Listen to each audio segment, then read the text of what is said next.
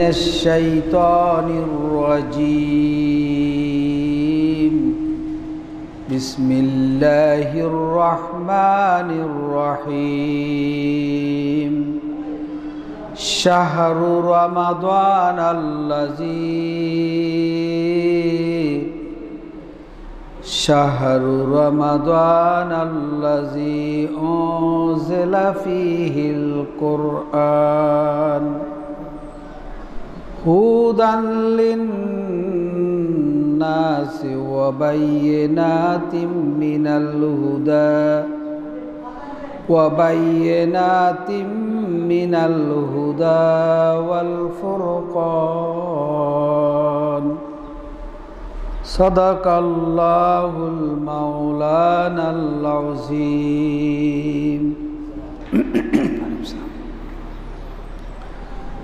আলহামদুলিল্লাহ রব্বিল আলমিন। রব্বুল আলমিনের মহান দরবারে শুক্রিয়া আদায় করছি, যিনি আমাদেরকে জুমাবার সবার আগে মসজিদে আসার তৌফিক দান করেছেন এই জন্য আমরা বলি আলহামদুলিল্লাহ। সম্মানিত মুসল্লিয়ানে কেরাম, আমরা আজকে আল কোরআনুল করিম বুঝে পড়ার গুরুত্ব। সবে কদর সবে কদরের গুরুত্ব, শিক্ষা এবং এতেকাফ, এতেকাফের গুরুত্ব, ফজিলত সম্পর্কে আমরা আলোচনা করব।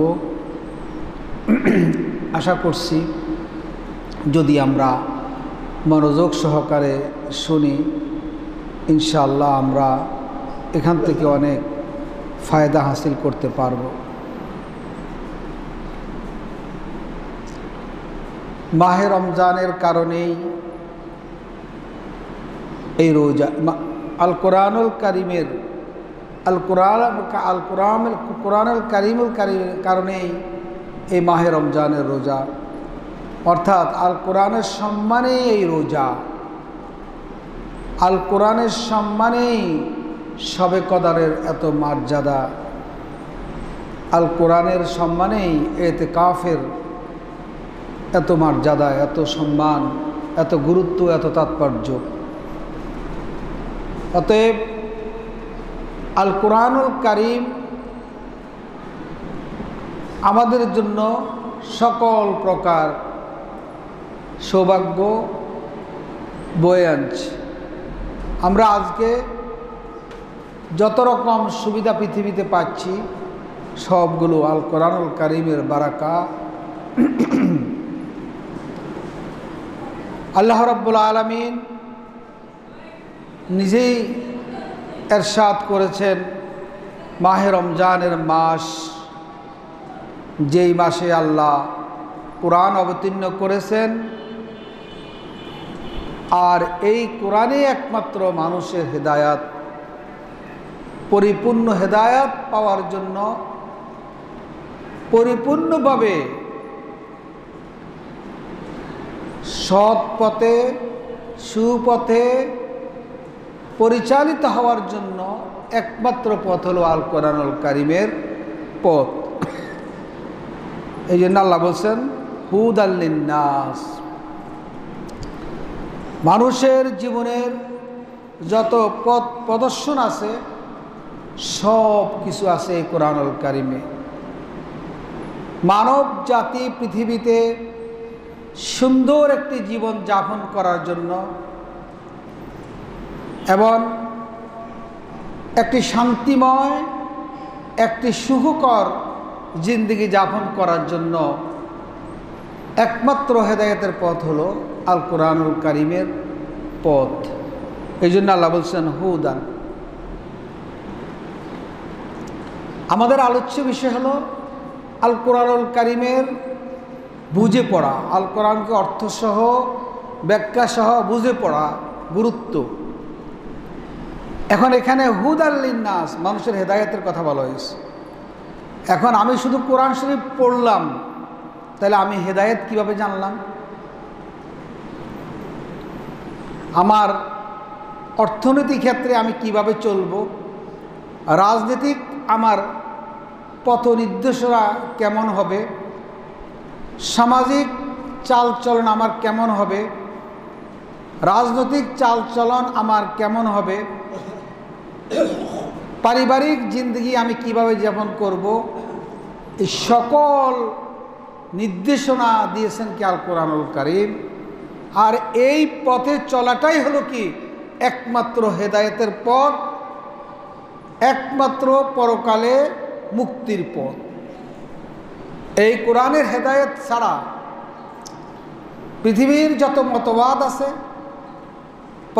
পৃথিবীর যত নীতিমালা আছে, যত মতবাদ আছে, কোনো মতবাদ মানুষকে শান্তি দিতে পারবে না। একমাত্র আল্লাহর কোরআনের হেদায়তেই একমাত্র মানুষের দুনিয়ার শান্তি, দুনিয়ার প্রশান্তি এবং আখেরাতের মুক্তি এবং আখেরাতের জান্নাত। বলে সুবাহান এখন, যে কোরআন এত হৃদায়তপূর্ণ, সেই কোরআনকে শুধুমাত্র যদি আমি পড়ি, তাহলে কোরআনের হক আদায় হবে না। কোরআনের হক আদায় হবে কোরআনকে জানার মাধ্যমে, কোরআনকে বোঝার মাধ্যমে, কোরআনের ব্যাখ্যা জানার মাধ্যমে, কোরআনের অর্থ জানার মাধ্যমে। না হলে এ কোরআনের হক আদায় হবে না। যেহেতু এটা হেদায়ত। আমি আপনাকে আরও ছোট্ট একটা উদাহরণ দিয়ে বুঝাই। ধরেন আপনি সৌদি আরব থাকেন অথবা আমেরিকা থাকেন। আপনার সন্তানকে একটা চিঠি লিখলেন। কি? পথ নির্দেশনা দিলে যে, বাবা, আমি তো প্রবাসে আসি তো তুমি আমার পরিবারের সদস্যদেরকে, পরিবারকে তুমি এইভাবে এইভাবে এইভাবে চালাইবা। আমি যে টাকাগুলো পাঠাইছি, এই এই খাতে তুমি কি করবা? ব্যয় করবা। এখন এই ছেলে যদি এই সিটিটা শুধু পড়েই, সারাদিন পড়ে, কিন্তু সিটির মর্ম বুঝে কি করা দরকার সেটা করল না। তাহলে কি সে বাবার এই উপদেশ, বাবার এই নীতিমালা সে কি বুঝতে পারবে? ঠিক অনুরূপভাবে আল কোরআনুল করিম যে বলা হয়েছে হেদায়াত, আমাদের পথ নির্দেশনা, আমাদের সংবিধান, আমাদের জীবন বিধান, আমাদের গঠনতন্ত্র, তাহলে যদি আমি শুধু পড়ি, এর অর্থ বিশ্লেষণ না বুঝি তাহলে তো আমি এই কোরআনের হক আদায় করা সম্ভব হবে না। কথা বোঝাতে পারলাম কিন্তু কারণ আমি পড়লাম আসারে কু আসারে কাতো দিয়া হুমা সোর আবার সুন্নির হাত কেটে দাও। আমি পড়লাম, কিন্তু আমি আবার নিজে চুরি করলাম। তাহলে তো আমার এই পড়ার সাথে কাজের সাথে মিল হলো না। এই জন্য আল কোরআনুল কারিম অর্থসহ, ব্যাখ্যাসহ পড়া অতীব জরুরি, এমন কোরআনের হক এটা। কোরআনের প্রাপ্তি হলো আপনি কোরআনকে বুঝবেন, কোরআনকে জানবেন, শুধুমাত্র পড়ার মধ্যে সীমাবদ্ধ রাখবেন না। এই জন্য আল্লাহ বলছি হুদ নাস মানে আমার বাবা আমার কী কী নির্দেশনা দিল? আমি দেখলামও না, আমি এরা অনুধাবন করলাম না, আমি শুধু পড়লাম। ডাক্তার আমাকে, আপনাকে একটা প্রেসক্রিপশন দিল যে আপনি ওষুধগুলো খাবেন। আপনি বাসায় নিয়ে শুধুমাত্র ওটাকে তেলাবাত করতেছেন, পড়তেছেন, কিন্তু আপনি কি একটা ওষুধও কিনে খান না? আপনার রোগ ভালো হবে? ঠিক আল কোরআনুল করিম শুধুমাত্র তিলাওয়াত করার জন্য এই কোরআন শরীফ আসে নেই। এই কোরআন শরীফ যেহেতু মানুষের গঠনতন্ত্র, মানুষের সংবিধান, মানুষের জীবন বিধান, তাইলে কোরআনের পরতে পরতে প্রতিটি শব্দর অর্থ বিশ্লেষণ আমাদের বোঝা কি? আমাদের উপর কর্তব্য এবং দায়িত্ব। কথা বোঝাতে পারলাম। কিন্তু আজকে আমরা মনে করি যে না, একটু মুখস্থ করলেই বস আমার অধিকার আদায় হয়ে গেল, আমার সব আদায় হয়ে গেল। আর এই ছেলে কি করে? আমি প্রতি বছরে অনেক হাফেজ সাহেবদেরকে আল্লাহ, অনেক ভালো ভালো হাফেজ সাহেব ভর্তি করায় কিন্তু দেখি যে মানে হাফেজ সাহেবরা হাফেজ সাহেবের জায়গা থাকে না। কোরআনের জায়গায় থাকে না, তারা অন্য জায়গায় চলে যায়। কারণটা হলো ওই যে শুধু মুখস্থ করছে, কিন্তু বিশ্লেষণ, ব্যাখ্যা কিছুই বুঝে নেয় প্রতি বছরে বিশ্লেষণ করে আমার এখানে প্রতিষ্ঠানে এসে অষ্টম, নবমে ভর্তি হয় হাফেজ সাহেবরা। কিন্তু তাদের চাল চলনের সাথে আর কোরআন যে পড়ছে, এর সাথে কোনো কি নাই, কোনো মিল নেই। কারণ হলো, এই কোরআনকে যে হেদায়তের জন্য আসছে সে হেদায়ত সে বুঝে নাই। সে শুধু মুখস্থ করছে। অবাইয়েনাত মিনাল হুদা, অবাইয়েনাত। এবং এই কোরআনের মধ্যে আছে কি? দায়িত্বহীন শিক্ষা। অসংখ্য শিক্ষা। যে শিক্ষার কোনো বিকল্প, কোনো শিক্ষা নেই। তাহলে কি বোঝা গেল? তাহলে আমার শিক্ষা কি? আমি যদি শিক্ষা যেটা আমি যদি না বুঝি তাহলে আমি কীভাবে আমি শিক্ষার উপরে চলবো আর শিক্ষা শিখলাম? তো এই জন্য আল্লাহ বলছেন ওয়াবাইনাত মিনাল হুদা। এটা হলো দায়িত্বহীন একটা শিক্ষা সম্বলিত সত্য সঠিক পথের দিশা। তা আমার দিশা যদি আমি না জানি, ধরেন আমি এখান থেকে চিটাগাং চিটাগাং একজনকে পাঠাইলাম, লিখে দিলাম যে তুমি এখান থেকে বড়ফুল নামবা বড়ফুল নেমে রিক্সার ছোটোফুল যাবা ছোটফুল গিয়ে ছোটোফুল পাঁচতলার সামনে যাবা, সেখান থেকে বাদশা মেয়ার ইটের খোলা যাইবা। এখন সে এটারে শুধু পড়ছে, কিন্তু কীভাবে কি করতে হবে এরা অনুধাবন করে নেয় তো সে জীবনেও চিটাগাং ওই ঠিকানায় বুঝতে পারবে? বুঝতে পারবে। এই জন্য কোরআন বুঝা, কোরআনকে জানা, কোরআন তাফসির পড়া আমাদের সকলের উচিত। আর আল্লাহ রাব্বুল আলমিন কোরআনকে মানুষের কাছে এমনভাবে উপস্থাপন করছেন, আমার মনে হয় পৃথিবীর এমন কোনো ভাষা নাই যেই ভাষায় কোরআন শরীফ অনুবাদ এবং ব্যাখ্যা হয় না কথা বোঝাচ্ছেন? আল্লাহ রাব্বুল আলমিন কোরআনকে, কোরআনের কিছু খাদ- খাদেমকে আল্লাহ এমনভাবে লাগাই রাখছেন যে সব সায়না ভাষায় কোরআন শরীফের তাফসির আছে, আরবি ভাষায় কোরআন শরীফের তাফসির আছে, উর্দু ভাষায় কোরআন শরীফের তাফসির আছে, হিন্দি ভাষায় কোরআন শরীফের তাফসির আছে, ইংরেজিতেও অসংখ্য তাফসির আছে। কে জন্য? আল্লাহ রাব্বুল আলমিন হেদায়তটাকে আম করে দিয়েছেন যে জানার জন্য তোমরা বুঝো, তোমরা জানো তোমাদের হেদায়েত কোনটা, তোমাদের সঠিক পথ কোনটা। ততএব আমরা কি বুঝলাম? যে কোরআন শরীফ বুঝে বুঝে পড়তে হবে। এরপরে এ আয়াতে আরেকটা কথা বলছেন, ওয়াল ফুরকান। কি বলছেন? ওবাইয়েনাতিম মিনাল হুদা ওয়াল ফুরকান। ফুরকান কোরআন শরীফের আরেকটা নাম আল্লাহ দিলেন। কে দিয়েছেন? আল্লাহ কোরআন শরীফের আরেকটা নাম দিলেন কি? ফুরকান। ফুরকান মানে হলো কি?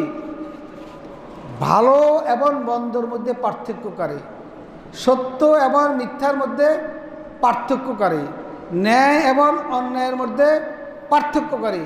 হালাল এবং হারামের মধ্যে পার্থক্যকারী। তাইলে আমি যদি কোরআন না বুঝি, আমি যদি না বুঝি, তাহলে পার্থক্য আমি কীভাবে করব? নাকি? ধরেন, মদ বালা না মন্দ, আমি বুঝব কি দিয়া? আল কোরআন দিয়া, অতএব মদ বারো মন্দরা কোথায় আছে? কোরআন শরীফে পার্থক্য করে দেওয়া আস শুক্রের গোস্ত এটা আপনার জন্য কি ভালো না মন্দ? এই পার্থক্যটা কে করে দিয়েছেন আল্লাহ কোরআন শরীফে করে দিয়েছেন। আপনি অর্থ না বুঝলে, আপনি ব্যাখ্যা না বুঝলে আপনি কীভাবে আমল করবেন বলেন? তারপরে সুদ খাওয়া হালাল না হারাম, এটা কোথায় আছেন? কোরআন শরীফে ব্যাখ্যা করে দেওয়া আছে। জেনা বা বিচার করা, এটা কি কীভাবে হারাম? এটা ব্যাখ্যা কোরআন শরীফে দেওয়া আছে। তাহলে আমি অর্থ না বুঝতে, বিশ্লেষণ না বুঝতে আমি কীভাবে করব? হত্যা করা গুম করা, এগুলো হারাম। কোথায় আছে? কোরআন শরীফে আছে। মিথ্যা মামলা করা, চুরি, ডাকাতি, ফেতনা, ফাসাদ, হিংসা, বিদ্বেষ, এগুলো সব হারাম। এগুলো পার্থক্য করে দিয়েছেন কি? আল কোরআনুল কারিম। তাহলে এখন আমি যদি এগুলোর ব্যাখ্যা বিশ্লেষণ না বুঝি, তাহলে আমি কীভাবে আমি আমল করব? আমি কীভাবে হেদায়ত পাব? কীভাবে আমি আমার সঠিক পথ পাবো? এই জন্যই আমাদেরকে কি করতে হবে? কোরআনুল করিমকে বুঝে বুঝে পড়তে হবে। আল্লাহ রব্বুল আলমিন সকল ভাষায় কি কোরআন অনুবাদের, কোরআনের বিশ্লেষণের, কোরআন তাফসিরের ব্যবস্থা করে দিয়েছেন।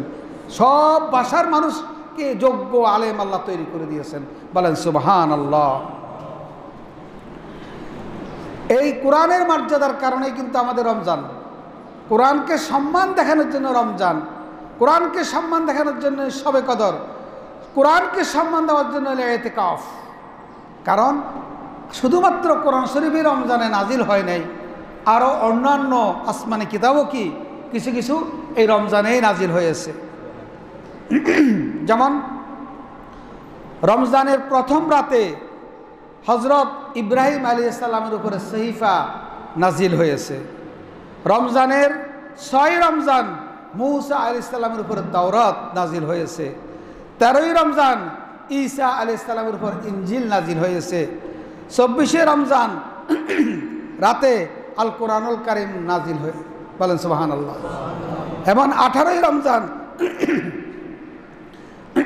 দাউদ আলি ইসলামের উপরে কি? কি?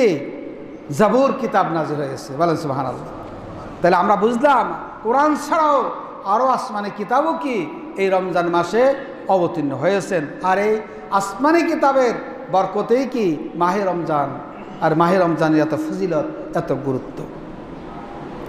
এরপরে কোরআন শরীফ যে বুঝে পড়তে হবে, আমরা একটা হাদিস রাসুসাল্লাম বলছেন ওয়াকাল আলী ইসলাম একরাউল কোরআন। তোমরা কোরআন পড়ো। শাফিয়ান কোরআন পড়লে এই কোরআন যে পড়বে তার জন্য কি করবে? সুপারিশ করবে। কোথায়? ইয়াউমাল কিয়ামা। এখন দেখেন আপনার বাবা সৌদি আরব থেকে বিদেশ থেকে সিটি পাঠাইছে। এখন আপনি আপনার ওয়াইফ পড়তে পারে না। একজনকে বলল পড়ো। এই পড়ো মনে কি শুধু গেলে পাঠ করা নাকি বুঝো? পড়ার সাথে কী জড়িত আছে বলেন? কারণ আপনি না বুঝলে আপনি উনি কি লিখছেন? ওনার ওয়াইফ বুঝে না। তাহলে এখন একজনে পড়া মানে কি? উনি শুনে শুনে বুঝবেন যে স্বামী ওখান থেকে কি কি কথা বলছেন। তাহলে পড়া মানে কি? পড়ার সাথে কি আছে? বুঝা শব্দটা জড়িত আছে। আপনি আপনি যাকে বলেন, এই দেখতো এই জিনিসটা একটু পড়তে কী লিখছে এটার অর্থ কি? শুধু পড়া? আপনারাই বলেন। জ্ঞান খেড়াই কথা বলেন। যে আপনি কাকে বলেন যে, এই দেখতো এই জিনিসটা কি লিখছে, একটু পড়তো এটার অর্থ কি? পড়ার পড়ার সাথে কি আছে? বুঝাও আছে। অতএব আল এখানে রাসুল বলছেন যে একরাউল কোরআন। কোরআন পড়ো কি আমাদের অত কোরআন পড়ো মানে কি? কোরআন বুঝে বুঝে পড়ো। কোরআন পড়ো, সাথে কি করো? বুঝো, শুধু পড়ো না। অর্থাৎ পড়ো, এই শব্দের সাথে কি আছে? বুঝা শব্দ জড়িত আছে। কথা বুঝাতে পারলাম? অতএব কোরআন কি করতে হবে? বুঝে পড়তে হবে। ডাক্তার যদি আপনাকে একটা সাজেশন দেয়, তাহলে আপনি সেটা কি করেন? আইসা যে না বুঝেন, ইংলিশ না বুঝেন, তাহলে একজনকে পড়ান। এ দেখতো কি কি ওষুধ দিছে। তখন আপনি বুঝলেন যে এটা অ্যান্টিবায়োটিক, এটা হলো ব্যথার ওষুধ, এটা হলো জ্বরের ওষুধ, এটা হলো আমার ওই চোখে যে একটু ইয়ে করে, ওটার ওষুধ। আছে না? এটা যে আমার কোমর ব্যথা করে, এটা হলো সেটার ওষুধ। আপনি তখন বুঝলেন ওর থেকে বুঝে নেন। তাহলে আপনি কি বলছেন? এই পড়তো ভ্যাকসিনেশনটা এই পড়ার সাথে কি আছে? তাহলে বোঝাটাও কি আছে? সংশ্লিষ্ট আছে। তাহলে বোঝা গেল কি? আমরা এই আল্লাহ রাসুল যে বলছেন, পড়ার কথা, এটার সাথে কি? বোঝাটাও কি? সংশ্লিষ্ট আছে। আল্লাহ রব্বুল্লা আলমিন আরেকটা সুরায় বলছেন, কিতাবুন আনজালনাহু ইলাইকা মুবারাকুন লিয়াদ্দাব্বারু লিয়াদ্দাব্বারু লিয়াদ্দাব্বারু আয়াতিহি وليتذكر أولو الألباب আল্লাহ বলতেছেন কিতাবুন এই কিতাব আল কোরআনুল কারিমের কথা বলা হচ্ছে আনজাল নাহু এলাইকা হে রাসুল আপনার কাছে এই কোরআন আমি প্রেরণ করেছি নাজিল করেছি মুবারকন এই কোরআন অতীব বরকতময় কেমন কোরআন অতীব বরকতময়। আজকের বিশ্বের মানবতার বরকতের একমাত্র বস্তু হলো আল কোরআনুল কারিম। আসবে, ব্যাখ্যা আসবে, বলব কথা। এখন আল্লাহ বলছেন যে, এরপরে বরকতময় বলে আল্লাহ বলতেছেন কেন এই কোরআন আসছে? এই বরকতময় কোরআন দিছে লেয়াদ্দাব্বারু চিন্তা এবং গবেষণা করার জন্য। বলেন না সুবাহান আল্লাহ তাইলে কি শুধু পড়লে কি আমার হক আদায় হবে? কি বলছেন? আয়াতিহি চিন্তা ভাবনা করার জন্য, গবেষণা করার জন্য, বুঝার জন্য, জানার জন্য, এর শিক্ষাসমূহ অনুধাবন করার জন্য আয়াতে। শুধু পড়ার জন্য আসছে? এই আল্লাহ বলছে, লেয়াদ্দাব্বারু বে আয়াতিহি দুই নম্বর আরেকটা কথা বলছে আল্লাহ। ওয়ালে ইয়াতাজাক্কারা যেন শিক্ষা গ্রহণ করতে পারে এই কোরআন থেকে। শিক্ষা মানে কি? যে শিক্ষা মানুষের কি? পথ দেখায়। যে শিক্ষা মানুষ ভালো মানুষ বানায়। যে শিক্ষা মানুষকে পরকালে মুক্তি দেয়। ইয়াতাজাক্কারা এবং শিক্ষা গ্রহণ করার জন্য উলুল আলবাব। জাগো মাথায় গিলু আছে। জাগো মাথায় কিছু বুদ্ধি আছে। জাগো, মাথায় কিছু জ্ঞান আছে, তারা যেন এই কোরআন থেকে শিক্ষা লাভ করতে পারে।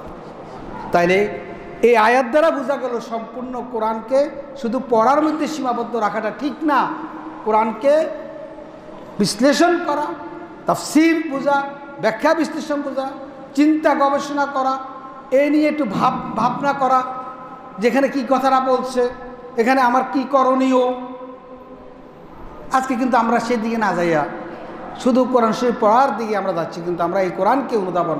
দিন দিন আলেম কমে যাচ্ছে। ভালো আলেম নাই। বিশ্বের মধ্যে কত বড় বড় আলেম, আমরা যখন লেখাপড়া করি, তখন এক একজন আলেমের কি বিজ্ঞতা ছিল? হাদিস বুহারি শরীফ দার্স দিতেছে, আল্লাহ আকবর। অনর্গল কথা বলে যাচ্ছে, আল্লাহ আকবর। আফলাতন কাউসার মহাদ্দেশ সাহেব, কামালউদ্দিন হজরত মাওলানা কামালউদ্দিন সাহেব দুজনেই বাড়ি হলো ইয়ে এটা কী বলে, হাতিয়া, হাতিয়ার আগে কি আছে একটা? সন্দীপ সন্দীপ বাড়ি। ওনারা কি কোরআন, কি ব্যাখ্যা করতেন, আল্লাহ আকবর। ওই রকম আলেম এখন আর দেখি না। কোরআন শরীফের আরেকটা আয়াত, অর্থাৎ সুরাম মোহাম্মদের চব্বিশ নম্বর আয়াত, আল্লাহ কি বলতেছে শুনেন? আফালাইয়া তাদাব্বারুন তোমরা কোরআন নিয়ে কেন চিন্তা করো না? কোরআন নিয়ে কেন গবেষণা করো না? কোরআনকে তোমরা কেন বুঝার চেষ্টা করো না? আম আলা আকফালুহা, তোমাকে তোমাদের অন্তরের মধ্যে তালা লাগাই দিছ। দেখছেন?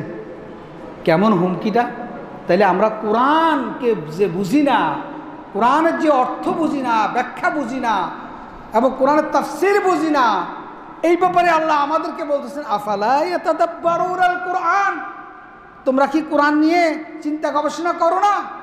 তোমরা কোরআনে কি বিশ্লেষণ বুঝো না? আম তোমরা কি তোমাদের অন্তরের মধ্যে তালা মাইরা দিছ? আমরা তো তালায় মাইরা দিছি। কদ্দুর পড়ি অথবা পড়া শুনি, কিন্তু আর এই কোরআন নিয়ে আমার কোনো, আমার তালা মারা আছে। বাস, আমি শুনছি শেষ, এরপর আমার তালা মারা। আমি আর বোঝার জন্য কি আমার মস্তিষ্ককে একটু কি এগিয়ে নিয়ে যাচ্ছি না? এরপরে আল্লাহ রাসুল সাল্লাহ সাল্লামের একটি হাদিস খাইরকম মান্তা আল্লামাল কোরআন আল্লামাহ। তোমাদের মধ্যে শ্রেষ্ঠ হলো যে ব্যক্তি কোরআন শিখে এবং শিক্ষা দেয়। শিখে এমন শিক্ষা দেয় মানে কি? এটা কি শুধুমাত্র রিডিংয়ের মধ্যে ছড়িত? শিক্ষা শব্দটা কি রিডিংয়ের মধ্যে জড়িত। বলেন, যদি আমরা শিক্ষা শব্দ ব্যবহার করি, এই শব্দের সাথে কি অনেক জানা, অনেক শোনা, অনেক বিশ্লেষণ, অনেক কিছু বোঝা বুঝায়? অনুধাবন বুঝায়। বিশাল অনুধাবনকে বোঝায় কি? শিক্ষা। তাহলে এখানে বলছে, এখানে যে ব্যক্তি কোরআন শিখে এবং শিক্ষা দেয়, সে সর্বশ্রেষ্ঠ। এখানে শুধুমাত্র রিডিং অর্থাৎ পড়া নয়। পড়া তো আছেই, পাশাপাশি বিশ্লেষণ, ব্যাখ্যা, এগুলো সব মিলেই কি শিক্ষা? এই জন্য আল্লাহ রসুল বলে গেছেন খাই রকম্বান্তা আল্লাম আল কোরআনা ও আল্লামাহ। এখন আমরা শুধুমাত্র মুখস্থকরণটাকে প্রায়োরিটি দেই, গুরুত্ব দেই, যার কারণে আমাদের সমাজের মধ্যে আজকে ভালো মানের আলেম তৈরি হচ্ছে না। মুখস্থ করার পরে সে দেখা গেছে এটা সে নষ্ট হয়ে যাচ্ছে, সে অন্য পথে চলে যাচ্ছে, সে কোরআন রাইখা অন্যদিকে চলে যাচ্ছে। ওই জন্য মুখস্থের পাশাপাশি আমাদেরকে কোরআন বুঝাইতে হবে। কারণ আল্লাহ রব্বুল আলমী বলছেন যে, কোরআন বুঝার ব্যাপারে দেখ বলছেন যে যে পাহাড়ের উপরে যখন আমি কোরআন নাজিল করতাম আর পাহাড় যদি বুঝতে পারতো, তাহলে ভয়ে গলে যেত। লাওয়ান জালনা হাজ আল কোরআন আলা জাবালিল লারাই তাহু খাসিয়াম মোতাসাদ্দান মিন খাসিয়াতিল্লাহ আল্লাহর বয়সে কি গলে যেত? যদি সে কোরআনের নাজিল করতে, সে বুঝতো। তাহলে আমরা বুঝি, এই জন্য আমাদের বুঝার দরকার কোরআন শরীফ। আমাদের জানার দরকার অনুধাবন করা দরকার, শিক্ষা অর্জন করা দরকার। কোরআন এসেছে মানুষকে সহজ, সরল পথ দেখানোর জন্য। কোরআন হচ্ছে অন্তরের চিকিৎসা। কোরআন হচ্ছে আল্লাহর শিক্ষা ও চিরন্তন শাসনতন্ত্র, গঠনতন্ত্র। চিরন্তন গঠনতন্ত্র আল কোরআনুল কারিম। কি বলছি কথাটা? যত সংবিধান আছে, সমস্ত সংবিধান কি অস্থায়ী? এক সরকার আসে আর এক সরকার পরিবর্তন হলে কি হয়ে যায়? কিন্তু আমার আল্লাহর কোরআন কি কেমত পর্যন্ত এই কোরআনের কি এই গঠনতন্ত্রের কোনো পরিবর্তন নাই? এটার জন্য এটাকে বলছে চিরন্তন সংবিধান। কোরআন হলো কি? চিরন্তন সংবিধান। এই সংবিধানের কোনো পরিবর্তন করার ক্ষমতা কারোরে নেই। আমাদের বাংলাদেশের জন্য একটা সংবিধান লড়ায় আমাদের কোরআনে কোনো কথা যে এটা হবে না, এটা হবে। মানুষ কি? সবাই লেগে যাবে না? লেগে যাবে মুসলমানেরা। এরপরে সুরা বাকারার একশো একুশ নম্বর আয়াতের ব্যাখ্যাটা শুনুন। আল্লাদিনা তাইনা হোমল কিতাবা।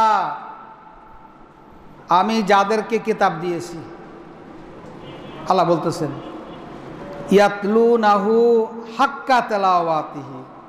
কি জন্য দিছি?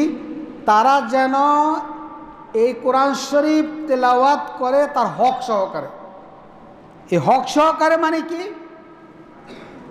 হালাল এবং হারাম, কোনটা হালাল, কোনটা হারাম, এটা জানা সহকারে পড়ে। কথা বোঝাচ্ছে কি না আল্লাহ বলছেন কি? আমি এই কিতাব দিছি ইয়াতলু নাহু যেন তেলাওয়াত করে হাক্কা তেলাওয়াতি, হক আদায় করে তেলাওয়াত করার জন্য। এই হক আদায় মুবাসের গাম ব্যাখ্যা দিয়েছেন যে অর্থাৎ কোরআনের হক আদায় করে তেলাওয়াত মানে হলো কোরআনে কোনটা হালাল বলছেন এবং কোনটা হারাম বলছেন, সেটা জেনে কি করা, তেলাওয়াত করা। তাহলে এখন আমরা কি জানি? আমরা তেলাওয়াত শুধুমাত্র করি সোয়াবের উদ্দেশ্যে, আর এর বিশ্লেষণ জানার প্রয়োজনীয়তা আমরা মনে করি না, যেটা আল্লাহ বলে দিয়েছেন যে তোমরা তোমাদের দিলের মধ্যে কি তালা মেরে দিয়েছ? আবদুল্লাহ বিন মাসুদ রাদি আল্লাহ তালা বলেন যে আমাদের জন্য কোরআন মুখস্থ করা কঠিন ছিল, কিন্তু আমল করা কি ছিল? সহজ ছিল। সাহাবি বলতেছেন। তিনি আরও বলতেছেন, কিন্তু আমাদের পর পরবর্তীদের জন্য কোরআন মুখস্থ করা সহজ হবে আর আমল করা কঠিন হবে।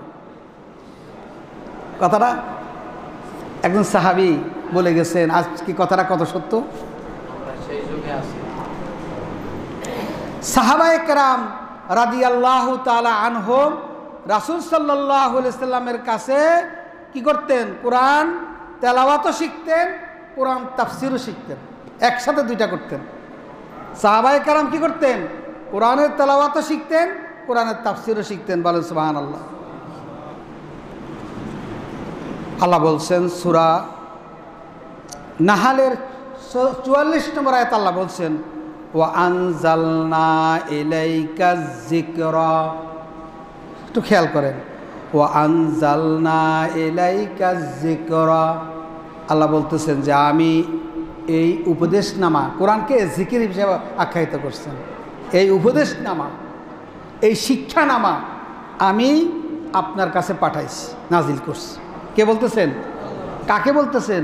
মোহাম্মদ রাসুল্লাহ যে ও আনজালনা ইলাইকা হে রাসুল, আপনার কাছে নাজিল করেছি জেকরা, এই শিক্ষা। এই শিক্ষাকে, এই উপদেশকে কাকে বুঝাইছে? কোরআনকে। এই উপদেশ মানে কি? এই এখানে কোরআনকে জিকির হিসাবে উল্লেখ করছেন। এই কোরআনকে, এই শিক্ষাকে এবং কি এই উপদেশনামাকে আমি আপনার কাছে পাঠিয়েছি কি? কি জন্য? লেতু বাইয়েন আলিন্নাস মা নুজাইলাহিম আমি তাদেরকে কি বলছি এই কোরআনে? সেই কথাটা বিশ্লেষণ করে বোঝানোর জন্য। তাহলে এখন কোরআন শরীফ শুধু পড়লে হবে। বলেন, এই আয়াতে আল্লাহ বলে দিয়েতেছেন হে রাসুল, আমি আপনার কাছে আমার এই শিক্ষা মানে কোরআনকে, আমার এই উপদেশ, অর্থাৎ আমি কোরআনকে প্রেরণ করেছি, কি জন্য? লেতু বাইয়ে না।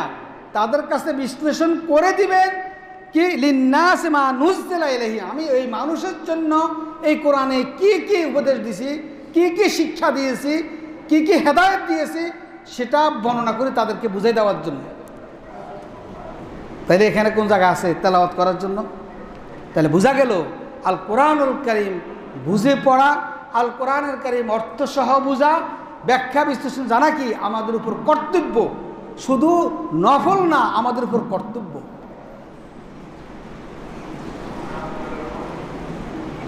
এরপর আল্লাহ রাব্বুল আলমিন আরেকটি আয়াত, সুরা ইউনুসের সাতান্ন নম্বর আয়াত।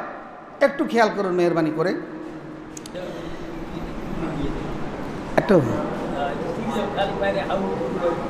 আচ্ছা। ইয়া ইয়া আইয়ুহান্নাসু কাদ জাআতকুম قد جاءتكم موعظة وشفاء لما في الصدور وهدى ورحمة للمؤمنين শোনা যায় হে মানুষ আল্লাহ মানুষদের বলছে সমস্ত মানুষ হে মানুষেরা কাদের জাতকুম মাওয়াজাতুন তোমাদের কাছ, তোমাদের কাছে আসছে মাওয়াজাতুন একটা কি? মাওয়াজা মানে কি? উপদেশা বলি, নির্দেশনা বলি। ওয়াজ করি না আমরা, ওয়াজ ওয়াজ মানে কি? নসিহাত। বা নসিহাত বলি। নসিহত সমূহ আসছে। আর কি আসছে? অশিফা উন কোরআনের কথা বলছে কি? এমন এটা কি? শিপা লেমাফিস সুদূর। তোমাদের কলবের সেবা হলো কি? এই কোরআন। আর কি? আরেকটা মাওয়েজা নসিহত হলো কি? এই কোরআন। এখন নসিহত বলা হয়েছে, শেফা বলা হয়েছে। এখন যদি ডাক্তার যদি প্রেস প্রেসক্রিপশন যদি আপনাকে লিখে দেয়, আপনি যদি শুধু এটা পড়েন আর এইটা যদি না বুঝেন, তাহলে আপনি শেফা হবে। আপনার সাফা হবে কখন? যখন ওষুধ খাইতে হবে। তো কোরআন যদি নাই জানেন ডাক্তার ডাক্তারকে আল্লাহ রাব্বুল আলমিন। ডাক্তার আল্লাহ রাব্বুল আলমিন, উনি আমার কলমের চিকিৎসার জন্য কোরআন শরীফে কী বলছে? সেটা যদি আমি নাই বুঝি, তাহলে আমার কলমের চিকিৎসা হবে কীভাবে? তাহলে আমি কেন কোরআন শরীফকে বোঝার চেষ্টা করি না? যদি আল্লাহকে, ডাক্তার, আর প্রেসিডেন্টটা কি? আল কোরআনুল কারিম। তখন আল কোরআনকে যদি আমি না বুঝি, তাহলে আল্লাহর দেওয়া, ডাক্তারের দেওয়া প্রেসক্রিপশন যদি আমি না বুঝি, তাহলে আমার কলমের রোগ বাইরে, ভালো হইবে কীভাবে? শুধু পড়লে কি ভালো পড়লে তো আমি জানি না আমি কি পড়তেছি। আমি তো অর্থ বুঝতেছি না আমি কি পড়তেছি। এখানে তো আল্লাহ বলছে, তুমি এটা করলে তোমার কলব ভালো হইব। তোমার কলব সুস্থ থাকব। তোমার কলব পরিষ্কার থাকবে। পবিত্র থাকবে। অপরিচ্ছন্ন হবে না। তাহলে আমি যদি ব্যাখ্যায় না জানি, তাহলে আমি কীভাবে বুঝব? অথচ আল্লাহ বলছেন যে মাওয়াজা বলা হয়েছে, এবার নসিহত কথা বলেছে। এখন আমি একটা নসিহত, আমি শুধু শুধু পড়লামই কিন্তু আমি বুঝলাম না। তাহলে আমি নসিহত কি আমল করতে পারব? তাহলে আল্লাহ তো বলছেন এগুলো। অহুদা ও রাহমা। আবার বলছেন যে, এটা হুদা হেদায়ত। তা আমার হেদায়তের কথা, আমার হেদায়ত মানে কি? আমার রাস্তা কোন রাস্তায় চলবো সেই নির্দেশনা। তো সেই নির্দেশনা যদি আমি নাই জানি, তাহলে আমি যদি এটা নাই বুঝি, শুধু মুখস্থ করলে কি হবে? এই জন্য বলছে অহুদা এই জন্য সন্তান জন্ম নিলে এখন থেকে সিদ্ধান্ত নেবেন, আলেম বানাবেন। কোরআন যতটুকু পারে মুখস্থ করবে, এরপরে দ্বিতীয় সিদ্ধান্ত কি? আলেম। কোরআন সন্তান জন্ম নিলে হাফেজ বানাবেন, এই সিদ্ধান্ত না নিয়ে আলেম বানানোর সিদ্ধান্ত নেবেন। সন্তান জন্ম নিলে হাফেজ বানানোর সিদ্ধান্ত না নিয়ে আলেম বানাবেন। আলেমের সাথে কি হাফেজও জড়িত আছে? আর হাফেজের সাথে শুধু মুখস্থকরণ জড়িত আছে। আর কোনো কিছু নাই। আর আলেম বানাইলে কোরআনও শিখবে, আবার কোরআন কি? ব্যাখ্যাও শিখবে এই জন্য এখন থেকে সন্তানদেরকে নিয়ত করবেন যে, আমি আলেম বানাবো, হাফেজ বানাবো না, আলেম বানাবো। তারপরে আলেম বানাইতে গিয়ে হাফেজও কোর- কোরআন লাগবে। কারণ হে, কোরআন না জানলে কীভাবে সে আলেম হবে? কথা বুঝাইছে না? দেখেন কি ব্যাখ্যাগুলো এখানে। আমি যে করলাম, আপনার বুঝতে পারছে এই জন্য শিফা উল্লে মাহফিসুদুর অহুদান। তাহলে আমার পথ নির্দেশনা, আমার সংবিধান, আমার বিধিবিধান, আমার পরিপত্র আমি যদি নাই জানি, তাহলে আমি কীভাবে আমি চলবো? শুধু মুখস্থ করলে কি আমি জানতে পারব? ওয়ারহমাতান। এবং এই কোরআনটা পুরোটাকে একটা রহমত? এই রহমত পাইতে হলে আমার কোরআন ব্যাখ্যা বুঝতে হবে। লিল মুমিনিন, মোমেনদের জন্য হেদায়াত, মোমেনদের জন্য এটা কি? রহমত, মোমেনদের জন্য এটা হলো তার অন্তরের শিপা, মোমেনদের হলো কি? এর একটা উপদেশনামা। বলেন সুবাহান তাহলে এই সবগুলো যদি আপনি চিন্তা করেন, আপনি বুঝা ছাড়া অনুধাবন করা ছাড়া একটাও আপনার কি কাজে প্রতিফলন ঘটানো সম্ভব হবে না? শুধু মুখস্থ দিয়ে আপনি কোশ্চিন কালেও কি, এ একটাও কি আপনি আমল করা সম্ভব না? অতএব কারণে কোরআন বুঝে পড়া আমাদের উপরে একান্ত কর্তব্য। দুনিয়ার সব জানি, এখন যদি যদি ক্রিকেটের, ক্রিকেট খেলার খেলোয়াড়ের নাম, কি কঠিন কঠিন নাম, সব মুখস্থ। বাবুরে বাবু, আমি কোনোদিন আমি ক্রিকেট খেলা দেখিও না, আমি এটি বুঝিও না। এই ক্রিকেটের ওভার টোভার আমি কিচ্ছুই বুঝি না। আল্লাহ আমারে এটা থেকে ভালো রাখছে, আলহামদুলিল্লাহ। আমি ক্রিকেট খেলাই বুঝি না। কিন্তু দেখি যে ওরা কি নাইমা টাইমার, কত রঙের নাম, যেগুলো বিদেশি নাম, এটি কেমনে যে মুখস্থ করে আল্লাহরে আল্লাহ। কিন্তু কোরআন শরীফের আয়াত পড়তে রাজি না, কোরআন শরীফের অর্থ বুঝতে রাজি না। কিন্তু খেলোয়াড়ের নামগুলো মুখস্থ করতে, নায়িকাদের নাম মুখস্থ করতে, বিটখুটে সাইনাদের নাম বিটখুটে আপনার যে উত্তর কোরিয়া, দক্ষিণ কোরিয়ার না খেলোয়াড়দের নাম। ব্রাজিলের এই বিটকুটে নামগুলো মুখস্থ করতে পারে, কিন্তু আল্লাহর কোরআনের এই ব্যাখ্যা বিশ্লেষণ বুঝে না। এই জায়গা তাইলে অন্ধ হয়ে যায়। এই জন্য আল্লাহ বলছে কি, তোমাদের অন্তর কি আল্লাহ তালা মারি দিছে? তোমরা কেন বুঝো না? আজকে আমাদের এই অসভ্যতা হলো এখানে। আমাদের আল্লাহর কোরআনের সাথে সবচেয়েতে বেয়াদবি আমরা করি না এখানে আসে। সারা জীবন রোজা রাখলাম। এ কোরআনের এই মর্যাদাটা আমি বুঝলাম না। সারা জীবন আমি আপনার এতে কাপ করলাম, আমি আমি কোরআন রোজা রাখলাম সবকাল কিন্তু কোরআনের মর্যাদাটাকে আমি এখন অনুধাবন করতে পারি না। দশ আয়াত পড়লাম, বিশ আয়াত পড়লাম বাসের বন্ধ করে বাস, আমি হক আদায় করছি। নৌ এই জন্য ভাই, আসুন, আমরা আল্লাহর কোরআনকে বুঝে শুনে পড়ার জন্য চেষ্টা করব ইনশাল্লাহ এবং আমাদের ভবিষ্যৎ প্রজন্মকে আমরা আলেম বাড়াবো এই সিদ্ধান্ত নেব। হাফেজ না শুধু, আলেম। আলেমের সাথে হাফেজ জড়িত থাকবেই। কারণ কোরআন না জানলে সে তো হাফেজ আলেম হতে পারবে না। আলেম জানার আলেম হওয়ার অর্থ হলো কোরআনের তাফসির বোঝা, হাদিসের ব্যাখ্যা বোঝা এবং মাসলা মাসাইল, ফিকা বোঝা। এরপরে, এরপর আমরা দ্বিতীয়ত আলোচনা করব সবে কদর। সবে কদরের ব্যাপারে আল্লাহ রাসুল সাল্লাহ সাল্লাম বলেছেন মা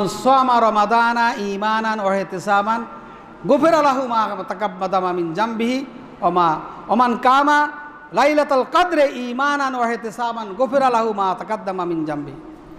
কদরের রাত্রে যে ব্যক্তি দাঁড়ায় দাঁড়িয়ে নামাজ পড়বে, তার পিছনের সমস্ত গুণ আল্লাহ মাফ করে দেবে এবং রমজান মাসে যারা দাঁড়া দাঁড়া তারাবির নামাজ পড়বে, তাদের জীবনের সমস্ত গুণ আল্লাহ মাফ করে দেবে কথা বুঝাচ্ছে? তাহলে কদর রাত্র কত গুরুত্বপূর্ণ? জীবনের সমস্ত গুণা আর কদর রাত্রে এত এত- মর্যাদা কেন? কোরআন শরীফ নাজিল হয়েছে রোজা রাখি কেন? কোরআনের মর্যাদা দেওয়ার জন্য। এতে কাপ করি করার জন্য সবে কদর পাওয়ার জন্য। তাহলে সেটাও তো সব মিলে কি? সব কিছু আল কোরআনের করিমের বরকত। বলেন একবার সুবাহান আল্লাহ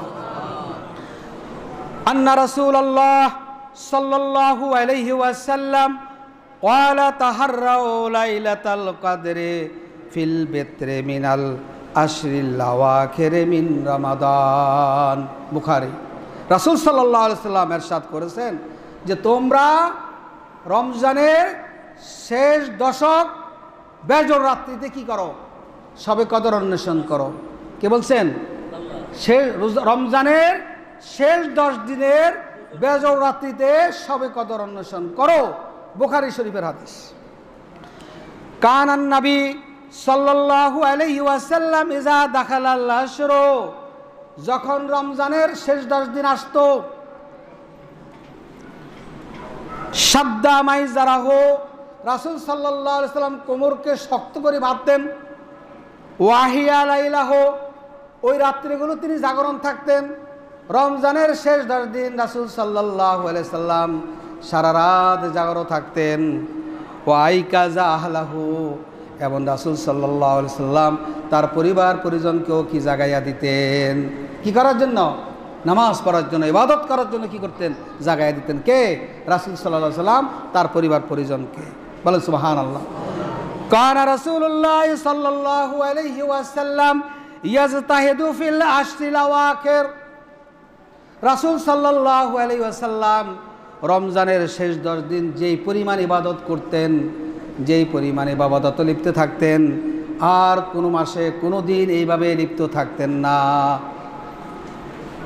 কথা বুঝাচ্ছে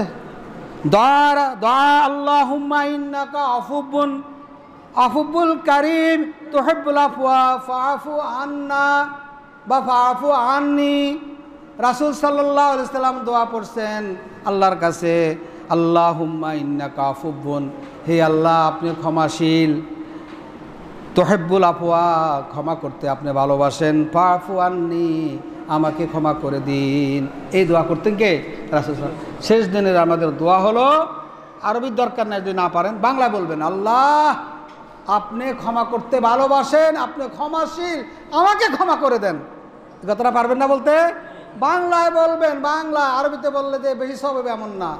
হে আল্লাহ, আপনি ক্ষমাশীল, ক্ষমা করতে ভালোবাসেন, আমাকে ক্ষমা করে দেন। তিনটা কথা, পারবেন না? মাশাল্লাহ মাশাল্লাহ এরপরে আল্লাহ রব্বুল আলমিন এই কদরের রাত্রির মর্যাদা, ফজিলত বোঝানোর জন্য কি সুরা একটা নাজিল করছেন? কি সুরা? সুরা কদর। ইন্নাহু ফি কদর। কদরের রাত্রিতে কি আল্লাহ কোরআন নাজিল করেছে? হে রাসুল, আপনি জানেন সেই রাত্রি কোনটি? লাইলাতুল কাদের খায়র মিন আলফি সাহাব হাজার হাজার মাসের চাইতো কি উত্তম? অর্থাৎ হাজার হাজার মাস, হাজার হাজার বছর গুজারে গেছে কোরআন নাজিল কোরআন নাজিল হওয়ার আগে। তারা এই মর্যাদা লাভ করতে পারে নাই, কোরআন নাজিল পাওয়ার পরে এই উম্মতরা যে মর্যাদা লাভ করছে। বলে সোহান আল্লাহ তারাজ্জালুল মালায়কা। ফেরেশতারা নাজিল হয়। আর রুহ জিব্রাইল নাজিল হয় জমিনের মধ্যে ফিহা। বিজনে রব্ভিম কার হুকুমে? আল্লাহর হুকুমে। মিনকুল্লে আমরিন্স প্রত্যেকটি বিষয় নিয়ে আগামী এক বছর আপনার আমার কি হবে? বাংলাদেশের কি হবে? এবং আমার ব্যক্তিগত কি হবে? আপনার ব্যক্তিগত কি হবে? সমাজের কি হবে? এই সব সিদ্ধান্তগুলো কি আল্লাহ রব্বুল আলমিন ওই রাত্রে হেফাজতকারী ফেরেস্তাদের হাতের মধ্যে তুলে দেয়। ফেরেস্তারা গায়েব জানে? কে গায়েব জানে? আল্লাহ সব জানেন, আমার জীবনের শেষ পর্যন্ত। মানুষের প্রতিটি মানুষের প্রতিটি পানির প্রাণী জগতের সব কিছু, সব কিছুকে জানেন? আল্লাহ জানেন।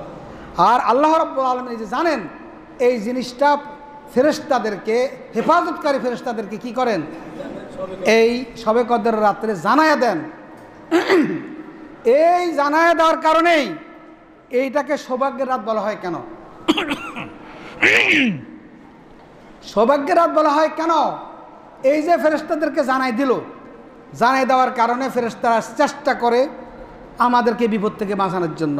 একটা বাস খাদে পড়ে যাবে, এ ফেরেস্তারা জানে, আগে থেকে আল্লাহ জানাই দিছে। এ ফেরেস্তারা চেষ্টা করে ডাকে কি করে? উড়ে দেওয়ার জন্য। আপনার একটা বিপদ সামনে আসতেছে, আপনি পড়ে যাচ্ছেন, আপনাকে ওখান থেকে রক্ষা করার জন্য কি? চেষ্টা করে। কারণ কি? ওই যে আল্লাহ জানাই দিছেন ফেরেস্তারা জানায় যে এই ব্যক্তির এখন বিপদ আসবে। তখন ফেরেস্তারা সতর্ক থাকে আপনাকে হেফাজত করার জন্য। এই জন্য এটাকে বলা হয় কি? সৌভাগ্যের রাত। আপনি কত বড় ভাগ্যবান যে আপনার জন্য যে ফেরেস্তারা নিয়োজিত আছে, আপনাকে হেফাজত করার জন্য যেই ফেরেস্তারা নিয়োজিত আছে, সেই ফেরেস্তারা সর্বক্ষণিকভাবে আপনাকে পাহারা দেয় এবং আপনার বিপদ আসলে আপনাকে রক্ষা করার জন্য চেষ্টা করে। বলেন সুবাহান আল্লাহ কিন্তু যখন মানুষ দুর্বাগা বেআমল হয়, তখন রহমতের ফেরেস্তারা তো অনেক সময় থাকেও না। এই জন্য হেফাজতকারী ফেরেস্তারা আমাদেরকে রক্ষা করে এই রাত্রির এই কালামের কারণে। এই জন্য এটাকে সৌভাগ্য সৌভাগ্যের রাত্রে হয়। যেহেতু প্রতি বছরে কি, একবার আল্লাহ রাবুল আলমী ফেরেস্তাদেরকে এই রাত্রে কি করেন? বুঝাইয়া দেন। এই জন্য এই রাত্রিকে সৌভাগ্যের রাত্রি বলা হয়। কথা বুঝাতে পারলাম কি না? কারণ আল্লাহ বলছেন, ফিহা সুরা দোকানের মধ্যে বলছেন, সুরা দোকানের চার এবং ছয় নম্বর আয়াত। যাদের ক্ষমতা আছে তাফসিরটা দেখবেন। সুরা দোকানের চার থেকে ছয় নম্বর আয়াত। ফিহা ইউফরাকু কুল্লু আমরিন হাকিম। এবং ওই রাত্রিতে বিজ্ঞ বিজ্ঞচিত সব বিষয়ে কি? ফয়সালা করা হয়। সেই ফয়সালাটা কি? কাদেরকে আল্লাহ দিয়ে দেন? ও হেফাজতকারী ফেরেশতার হাতে দিয়ে দেন। বলেন সুবাহান আল্লাহ সুবাহান আল্লাহ এখন আসেন, এগুলো এটা সৌভাগ্যের রাত। এরপরে আমরা এই- এইটাকে লাইলা- লাইলাতুল কদরকে আমরা ভাগ্য উন্নয়নের রাত্র বলতে পারি। ভাগ্য উন্নয়নের রাত। কীভাবে ভাগ্য উন্নয়ন হয়েছে? এই রাত্রিটা পৃথিবীর যত প্রাণী আছে, প্রাণী জগৎ বলেন, মানব জগৎ বলেন, সব সকল জগতের জন্যই কি ভাগ্য উন্নয়নের রাত্রি। হমা দুরা কামা লাইলাতুল কাদ্র। কারণ এই রাত্রে যে জ্ঞান আল্লাহ ফেরেস্তাদের দেন, সেই জ্ঞানের আলো কি কি সব সমাধা হয়? বলেন সুবাহ আল্লাহ দেখেন, ভাগ্য উন্নয়নের রাত্রি কেন বলা হয়েছে? এই কোরআন নাজিলের আগে, ওই যে বলছে, হাজার হাজার মাস থেকে, অর্থাৎ হাজার হাজার বছর আমরা ধরি। হাজার হাজার মাস কি? বারো মাস তো এক বছরই। হাজার হাজার বছরের আগেও কি যে উন্নতি হয় নাই? কোরআন নাজিলের পরে সেই উন্নতি হয়েছে, বলেন সুবাহ আল্লাহ মানুষ হজ করতে যেত কীভাবে? পা হেঁটে হজ করতো। নাকি? পায়ে হেঁটে হেঁটে হজ করতে হতো কিন্তু যখন আল্লাহ রব্বুল আলমী কোরআন শরীর মধ্যে সুরা নাজিল করলেন, ওয়া খালাকনা আলহম মিন মেসলিহি মা ইয়ার কাবুন মানুষের জন্য কি? কি করা হবে? বাহন তৈরি করা হবে। জাহাজ তৈরি হলো, এরপরে বিমান তৈরি হলো। মানুষ, এরপর কি হলো? ভাগ্য উন্নয়ন হলো কি না তাহলে কি হলো? এই রাত্রির কারণে, এই কোরআন নাজিলের কারণেই কি আর কোরআন এই আয়াতটা গবেষণা করেই কি আমাদের জন্য জাহাজ আবিষ্কার হলো? আমাদের জন্য কি হলো? বিমান আবিষ্কার হলো। আর আমরা এখন কি করি? ছয় ঘণ্টা চলে যাই হজ করতে। এই জন্য এই রাত্রিকে বলা হয় কি? ভাগ্য উন্নয়নের রাত্রি। বলেন সোহান আল্লাহ সাদে, দেখেন ভাগ্য রাত্রি দেখেন। রাসুল সাল্লাম হাতের ইশারায় চাঁদকে দুই খন্ডর করেছেন। চাঁদে দুই, দুইজন বৈজ্ঞানিক চাঁদে গিয়ে দেখছেন যে সত্যি। হ্যাঁ চাঁদ দ্বিখণ্ডিত। তারা ইমান আনছে। তাহলে এটা কি আমাদের জন্য ভাগ্য উন্নয়ন না? এ কোরআন নাজির আগে কি, যারা ছিল তাদের এত ভাগ্য উন্নয়ন ছিল না। কোরআন নাজির পরে আমাদের লোক সাদে গেছে এবং চাঁদ দেখছে দ্বিখণ্ডিত। বলে সুবাহান আল্লাহ রিমোট কন্ট্রোল। কোরআন শরীফ আল্লাহ সুরাই ইয়াসিন আল কোরআনুল হাকিম। এই কোরআনুল হাকিম বলে এখানে অনেক বিজ্ঞানের আলোচনা করা হয়েছে। আর সেখান থেকে রিমোট কন্ট্রোল হলো। তাহলে এটা কি আমাদের জন্য ভাগ্য উন্নয়ন হইল? এখন আপনি বিছানা শুয়ে শুয়ে ওই পাখা চালান। বিছানা শুয়ে শুয়ে আপনার টিভি চালান রিমোট কন্ট্রোলের মাধ্যমে। চালান না। রিমোট কন্ট্রোলের মধ্যে বিমানও আপনার কন্ট্রোল করা হয়। এরপরে আমরা উদুরি, বাদুরি, যক্ষা, কি? এই তিন রোগের নাই রক্ষা। দেখেন, বিজ্ঞান আবিষ্কার হওয়ার পর, আল্লাহর কোরআন দেখে দেখে বিজ্ঞান আবিষ্কার করার পরে কি? এখন এই সমস্ত রোগ আর নাই। শিক্ষা আছে, কিন্তু চিকিৎসা আছে। এই রোগের কি আছে?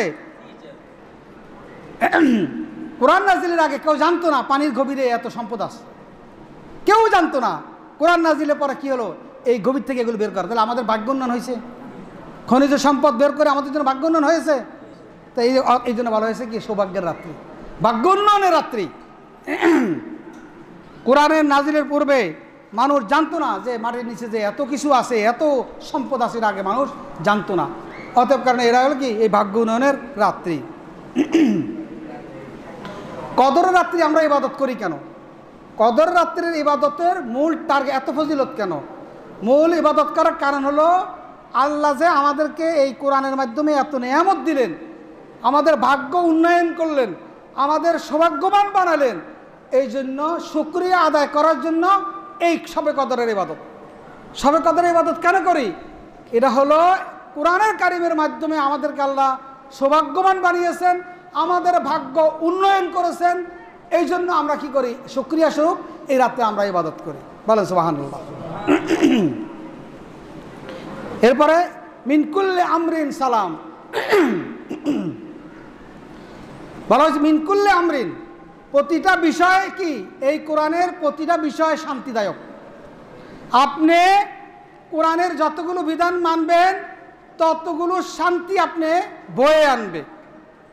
এই জন্য ভালো হচ্ছে মিনকুল্লে আমরিন সালাম মিনকুল্লে আমরিন সালাম, এই কোরআনের প্রতিটা শব্দ, প্রতিটা আদেশ, প্রতিটা হুকুম, প্রতিটা নিষেধই কি মানুষের জন্য কল্যাণকর? কথা বুঝাচ্ছি?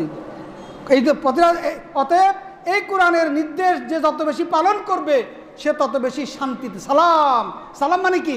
শান্তিতে থাকবে। আর এই কোরআনের বাণী যে যতটুকু অস্বীকার করবে, অমান্য করবে, মানবে না, সে ততটুকু অশান্তিতে থাকবে। এই জন্য বলা হয়েছে কি? সালাত মিন কুল্লে আমরিন সালাম। কথা বোঝাচ্ছে কি না এরপরে আমাদের আরেকটা বিষয় রয়েছে।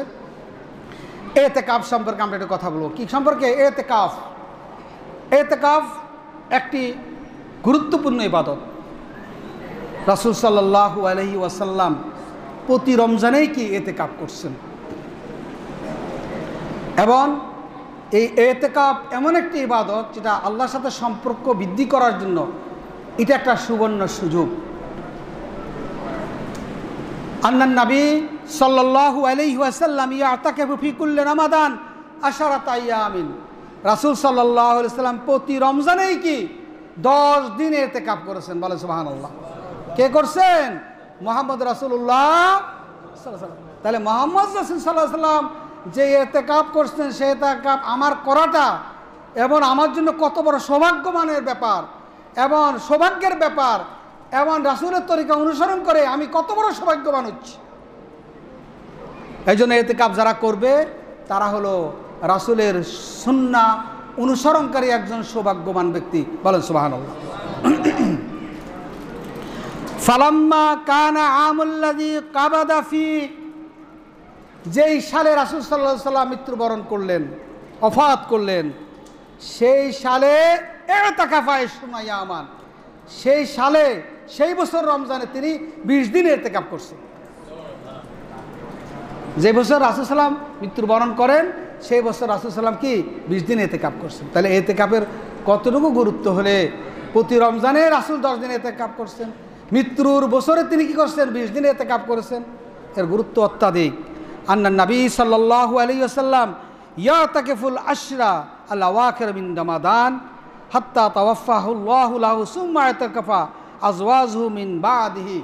রাসূল আলাইহি সাল্লাম যখন দুনিয়া থেকে বিদায় নিলেন, তারপরেও রাসূল আলাইহি সাল্লামের বিবিরা ওই সুন্নাহ ধরে রাখছেন। মসজিদে নববীতে রাসূল সাল্লামের স্ত্রীরা কি করতেন? এতে কাপ করতেন। বলেন, সুবহানাল্লাহ। রাসূলের পরও রাসূলের স্ত্রীরা কি করছেন? মসজিদে এতে কাপ করছেন। তাহলে কতটুকু গুরুত্বপূর্ণ এতে কাপের বিষয়টা? এটাকে আমরা অনেকে হালকা মনে করি। অনেক মসজিদে কি করে? একজনের ধৈর্য আইনা, তারে টাকা পয়সা দিয়ে তারপরে এতে কাপ করা। এটা কোনো বিধান নাই। এতে কাপ হলো সুন্না। এটা করতে হবে। এটা কোনো ইয়া না যে কাগজ জোর করে ধরে এনে টাকা দিয়ে করাইতে হবে। এটা অত্যন্ত স্বেচ্ছায় প্রণোদিত হয়ে করতে হবে। টাকা দিয়ে পয়সা খাওয়াইয়া, তারা খাওয়াইয়া দাওয়া দৌড়ই আই না এটা কোনো সিস্টেম না এটা করে সেটা আমি দেখছি। মানে কাফা ইয়ামান ইফতেকা ওয়াজহিল্লাহ, যেই ব্যক্তি একদিন এতে কাপ করবে, আল্লাহর সন্তুষ্টির জন্য, আজ্জা ওয়াজাল্লা জাল আল্লাহ বাইনাহু তার মধ্যে এবং জাহান্নামের মধ্যে দূরত্ব সৃষ্টি হবে। কি পরিমাণ দূরত্ব? সৃষ্টি হবে খানা দেখা সালাসা খানা দেখা তিন খন্দক দূরত্ব সৃষ্টি হবে। যে ব্যক্তি এতে কাপ একদিন করবে, তার সাথে জাহান্নার আগুনের সাথে কি? তিন খন্দক দূরত্ব সৃষ্টি হবে। এখন এক খন্দ কতটুকু? রাসুল সালাম কুল্লা খান্দাকিন আবাদু মিম্মা বাইনাল খাফেকিন।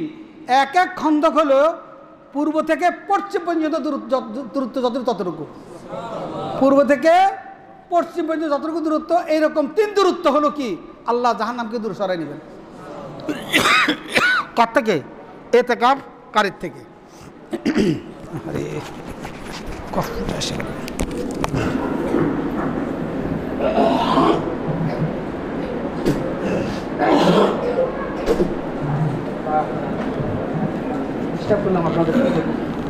আমি একটা সরি কেউ আসলে এটা খুবই আপনাদের জন্য কষ্টকর। আমি সরি এটা এসে গেছে কম।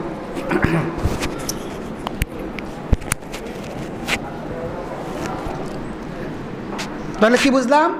তিন খন্দক মানে কি? অর্থাৎ পূর্ব থেকে পর্যন্ত এই দূরত্ব তিনবার জেলে যতটুকু হয়, অতটুকু পরিমাণ দূরত্ব জাহান নাম কেলা নিয়ে যাবে। আল্লাহ একবার বাইহাকি শরীফের হাদিস? রাসুলাম আরও বলছেন, মান এ তাকাফা আশারা ইয়ামান ফি রামাদান। যে ব্যক্তি দশ দিন এতে কাপ করবে, কি? রমজান মাসে। রমজান মাসের শেষ দশ দিন যে ব্যক্তি এতে কাপ করবে কাহাজ্জাতাইনে ও উমরাতাইনে। দুইটা হজ এবং দুইটা উমরার সব সে পাবে। জোরে বলেন। দুইটা হজ এবং দুইটা উমরার সব পাবে। আল্লাহ এবং আল্লাহ রব্বুল আলমিন ইব্রাহিম আলাইসালাম ইসমাইল আলাইসালাম যখন কাবাঘর তৈরি করলেন, তখন আল্লাহ রাব্বুল আলম তাদেরকে ওয়ার্ডার করে দিলেন। কি ওয়ার্ডার করছেন? ওয়াতহের ওয়াতহের বাইতি।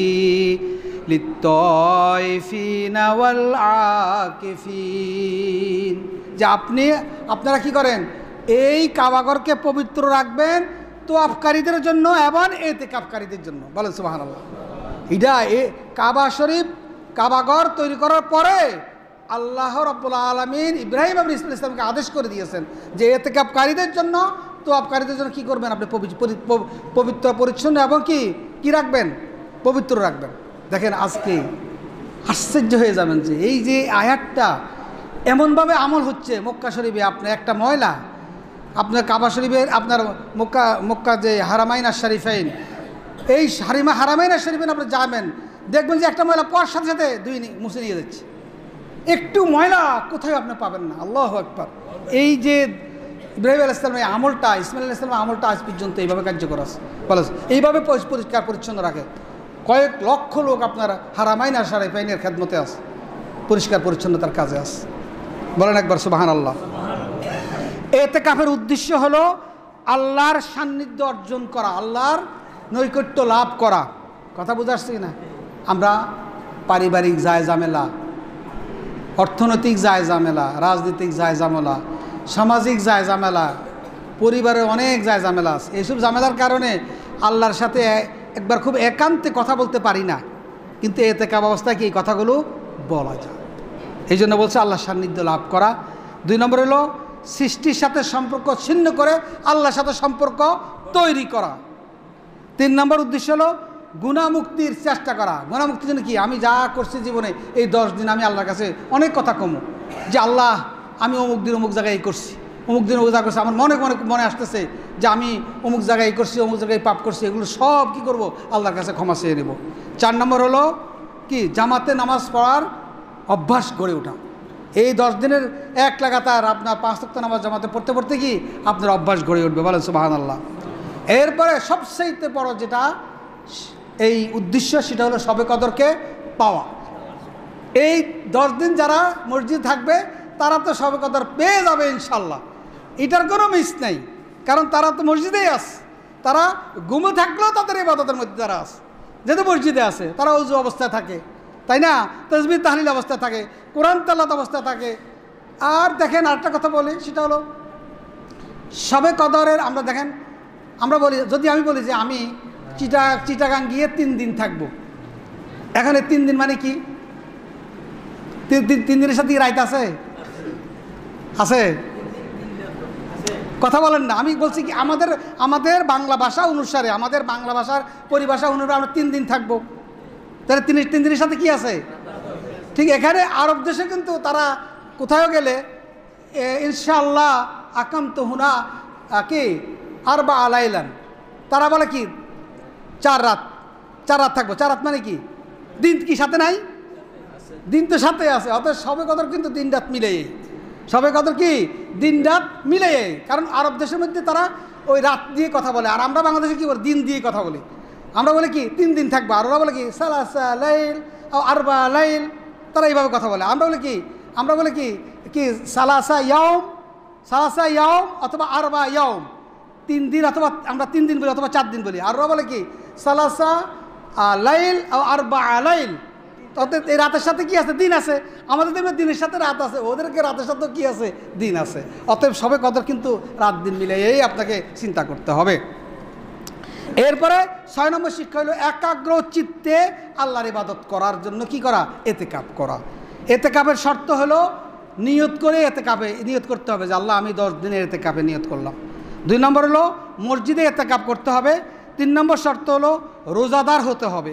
চার নম্বর হলো সর্বদা পবিত্র থাকতে হবে। এটা হলো এই আমাদের রমজানের এতে কাপের কথা বলি। আর অন্য এতে কাপ ওয়াজেব এতে কাপ এবং নফল এতে কাপের জন্য কোনো রোজার প্রয়োজনীয়তা নাই। শুধু রমজানের শেষ দশ দিনের এতে কাপের জন্য রোজার প্রয়োজনীয়তা আছে। আর কোনো এতে কাপের জন্য কি রোজার প্রয়োজনীয়তা? আপনি এতে কাপ সারা বছরে করতে পারবেন। এক ঘণ্টার জন্য করতে পারবেন, এক রাত্রের জন্য করতে পারবেন একদিনের জন্য করতে নিয়ত করে করে আপনার এতে কাপ করতে এটা নফল এবাদত নফল এতে কাপ এতে কাপের সময়সীমা বিশ রমজান সূর্যাস্তের পর থেকে ঈদুল পেতরের চাঁদ দেখা পর্যন্ত। আপনার এই সময়টার ভিতরে কি? এই সময় আপনাকে মসজিদে থাকতে হবে। এতে কাপ ভেঙ্গে যায়। কি কি কারণে? এক নম্বর হলো বিনা প্রয়োজনে মসজিদের বাহিরে যাওয়া। আসা যাওয়া করা, অবস্থান। বিনা প্রয়োজন একান্ত জরুরি প্রয়োজনে যাবেন, এটা ভিন্ন কথা। কিন্তু বিনা প্রয়োজনে মসজিদের বাইরে যাওয়া যাবে না। দুই নম্বর হলো রোজা ভাঙলে এই তেকাবো কি এই এই আমাদের রমজানে যে এটা ভেঙে যাবে। তিন নম্বর হলো, স্ত্রীর সাথে মেলামেশা করল কি, এতে পাপ ভেঙে যাও এই যে আসুন, আল্লাহ রব্বুল আলমিন আমাদেরকে এই আলোচনা থেকে সঠিক শিক্ষা গ্রহণ করার তফিক দান করুক। ও আখের দাওয়ানা